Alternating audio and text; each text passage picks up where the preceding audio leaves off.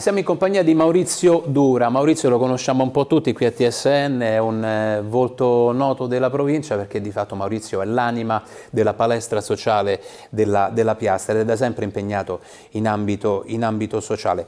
Oggi con Maurizio, innanzitutto buonasera Maurizio. Buonasera.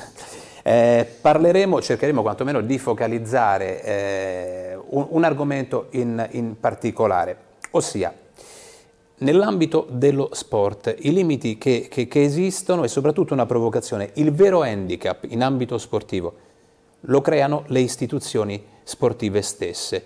Um, tu hai una tua esperienza da raccontarci, partiamo da un, da un fatto. Uh, tempo fa un uh, ragazzino che seguivi nella tua palestra ti fece una domanda, cosa ti chiese?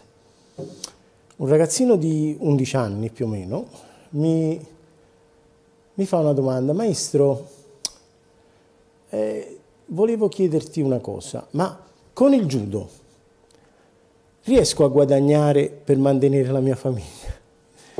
È così, judo sport per poveri si dice, si è sempre detto, per correttezza verso il ragazzo, gli ho detto, guarda, per guadagnare devi fare altri sport, calcio, quindi sono sport è rimasto molto molto deluso e allora mi fa, ma insomma, allora gli sport non sono tutti uguali.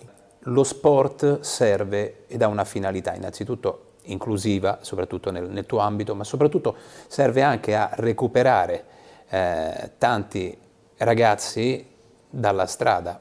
Volevo anche girare al presidente del CONI, dottor Malagò, lo sport toglie questi ragazzi dalla strada, mi sono fatto, o se non hanno disponibilità economiche rientrano in strada Purtroppo è un interrogativo che bisogna farsi. Questo discorso vale anche per eh, gli sport paralimpici. Se proprio vogliamo, se proprio è necessario creare una, una, una, un sì. discrimine tra uno sport e l'altro, allora eh, abbiamo parlato degli sport dei cosiddetti normodotati, sì. anche se odio questo aggettivo, anche parliamo allora del, degli sport paralimpici. E questo tu lo vivi sulla tua pelle, hai incontrato delle difficoltà. Una domanda, questa volta al presidente del CIP, del Comitato Italiano Paralimpico, scusatemi, ma se il judo è un'attività olimpica, ma perché il judo in Italia non ha il, il judo italiano paralimpico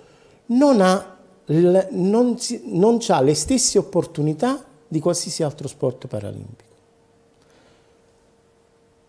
Questo me lo chiedono i ragazzi, me lo chiedono, maestro scusate ma io mi impegno, faccio le gare, posso vincere medaglie, ma posso ambire a un gruppo sportivo militare? Io non accuso nessuno, ma dico al presidente paralimpico e al presidente olimpico, che tra l'altro conosco, eh, ma ci vogliamo mettere a tavolino e dire ragazzi vogliamo fare un resoconto e, e vederci se possiamo migliorare qualcosa?